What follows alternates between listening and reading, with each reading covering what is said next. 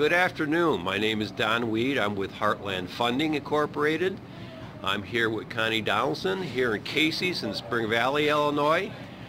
And she's going to tell you about her experience with us with her home. Hi, I'm Connie Donelson. We had a property for sale in Mark, Illinois. Don came in, he appraised the property, he looked at us, looked at it, he gave us a fair, honest price, and it was all for cash. It was quick, it was easy, no problems. I would recommend using Don Weed services anytime. Thanks, Connie.